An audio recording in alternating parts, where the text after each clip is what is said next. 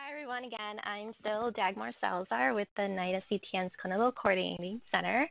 And today I'll be speaking on how to develop an effective site-specific standard operating procedure, SOP for short, um, for research staff engagement with participants lost to incarceration post-study enrollment.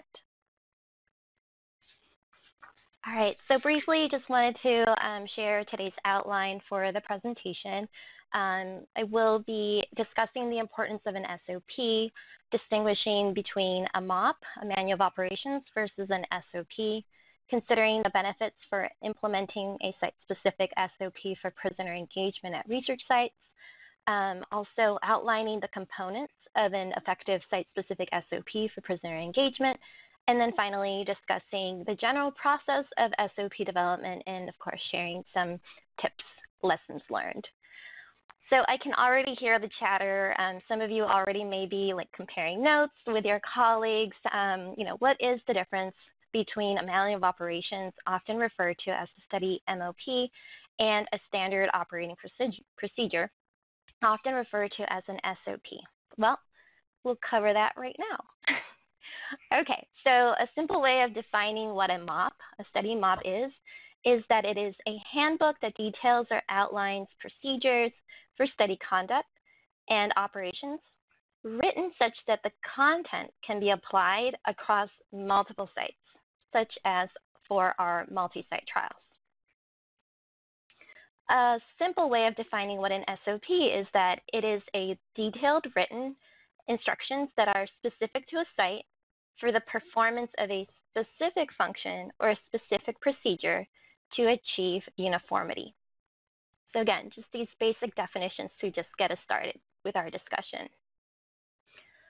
Continuing on with defining what an SOP is, some considerations and some considerations for why SOPs are needed within the context of clinical research include that an SOP is an effective tool to centralize guidelines and standards for a specific procedure. It can help minimize risks, and it can help um, effectively help to maintain consistency in performing the procedure among different study staff members, for example. The next slide provides examples of the benefits SOPs impart on a trial that do, in fact, make it an effective tool. All right, so an SOP, how is it effective or what really makes it effective? Well, um, it does increase compliance with the study protocol. It does so by minimizing or helping to minimize protocol departures or deviations, which we are not a fan favorite, which is not a fan favorite to have to report. And because the information is written and incorporated and is specific to the site, an SOP is effective in reinforcing knowledge of the procedure performance even after completing study-wide training.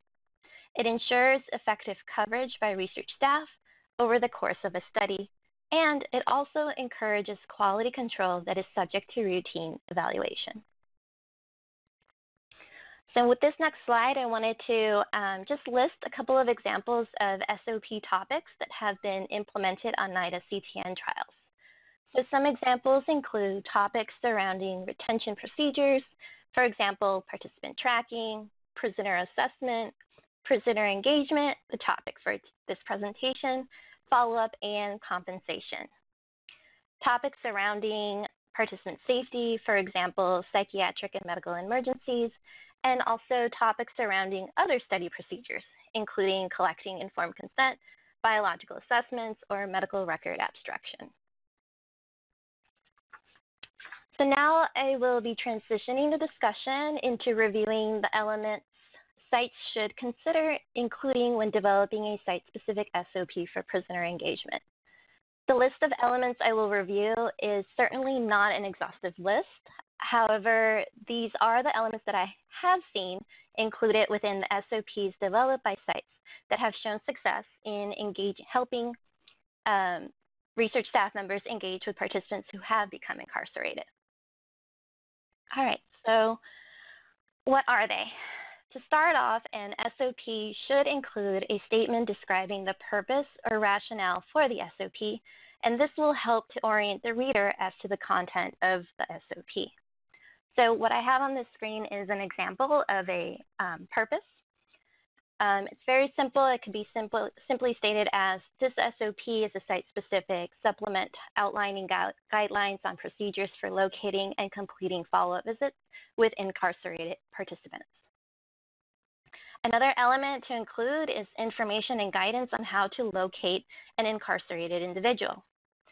For example, this section of the SOP can describe um, specific navigation strategies, such as using the locator form to get the full name of the participant and any alternative spellings, or even location the participant frequents to perhaps help narrow the search. Within this section, it will be useful to incorporate a list of the different search databases, whether at the county or city level, or even state resources or federal resources to use to assess if the participant has been incarcerated. Further, whether embedded in this section or another section, another element to consider is listing out the contact numbers for facilities, describing steps and instructions for how to contact the facilities and or how to inquire about the participant while maintaining participant confidentiality. As Sarah noted, is very, very important and required um, per the regulatory approvals. So I won't spend too much time describing um, further um, because Amber, our next presenter, will be covering how to apply these and other strategies for locating incarcerated participants in this CTN webinar series. So um, information about how research staff should contact a participant is another important element to consider incorporating in the site-specific SOP. The lead team as well as the local study research team will need to determine if any internal approvals, for example, are required to obtain before research staff initiate contact with the participant.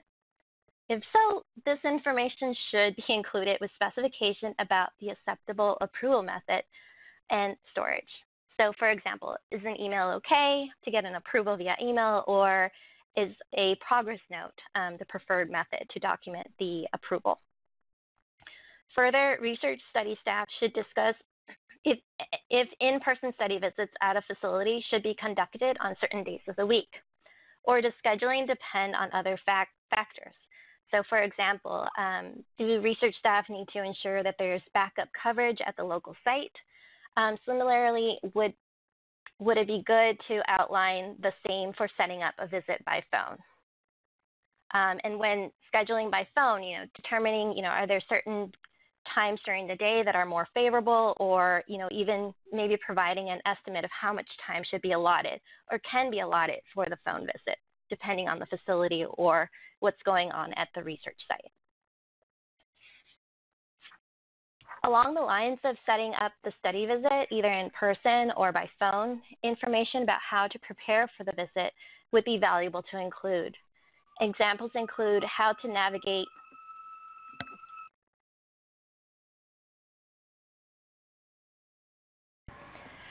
how to navigate to the in-person visit and or guidelines for proper or acceptable identification.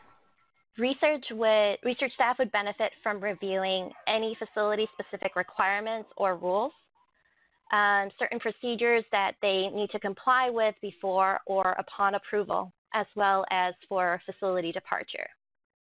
It would also be appropriate to include this information in the SOP and have research staff review prior to traveling to the facility um, prior to conducting the study visit.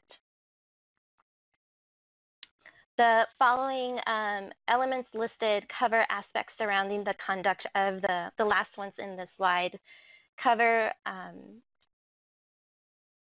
what materials to take um, with you, uh, including identifying the study materials that are appropriate and required to take for completing the study.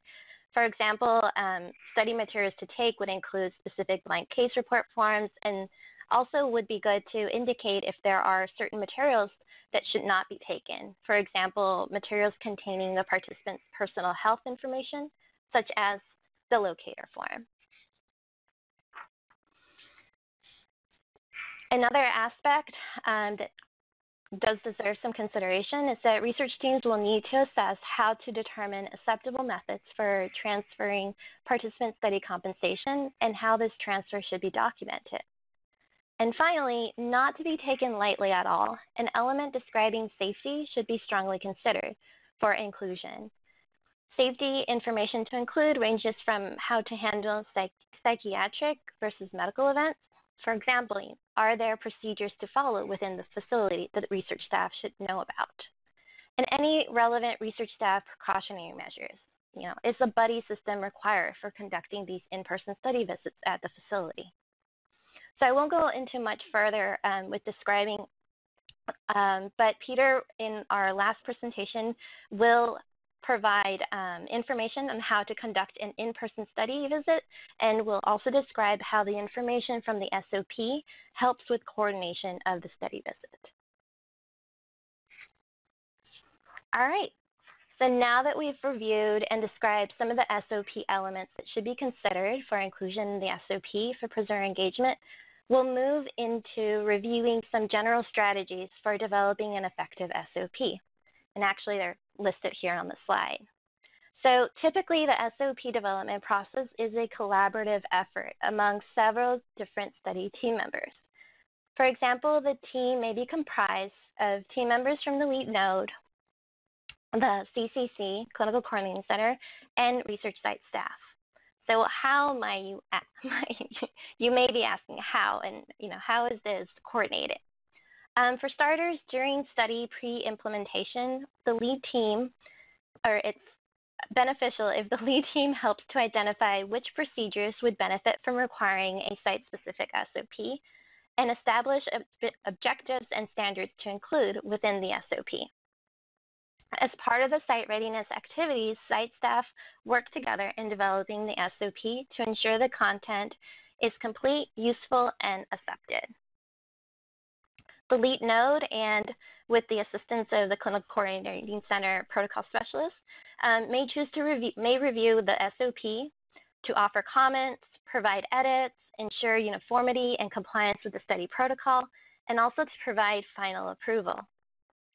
A note I did want to make mention here is that SOPs are subject to revision during the life of the study, and so with each revision, applying this review process is important prior to implementation. So now I wanted to wrap up this presentation by providing a few tips to keep in mind when developing a site-specific SOP as listed on this slide. The first is don't be shy. Consult with researchers familiar with the process. It's not uncommon that some lead nodes and site staff will approve their SOPs to be shared with other, other study team members to facilitate the development of their site-specific SOP. Remember, developing is best done with a collaborative approach. Another tip, making sure to use consistent study terms and language. Um, so definitely reference the protocol and or the study MOP to pull this um, language and, and terms. Um, on NIDA CTN trials, um, just a reminder, the preference is to refer to the patients that are participating on our trials as participants and not subject. So making sure not to make use of subject as a way to describe or refer to the participants um, in the study. In terms of referring to research study roles, just making sure that you are utilizing the research study rules that have been identified and written into the study protocol. So some protocols um, include research assistant, study coordinator, PI, etc. So just being mindful to make sure to refer to the study protocol to identify those research study rules. It's not uncommon, especially these days, um, to use acronyms, and it's perfectly fine to include acronyms in the SOP, but making sure that you have defined any acronyms that have been um, utilized and incorporated in SOP. Of course, verified content is free from any contradictions to existing study procedures, and this, of course, is with the aim to avoid introducing any sort of protocol um, protocol deviations. All right, um, setting aside time to review SOPs with all site research staff prior to implementation, making sure to go through the review process um, before they are implemented. And then finally, revise SOPs as needed. Again, these are working documents and are subject to edits once they are implemented. All right, so that wraps up what I wanted to present to you. If you have any questions, my contact information is listed on the screen. Um, feel free to contact me with any questions um, and look forward to any comments um, as well.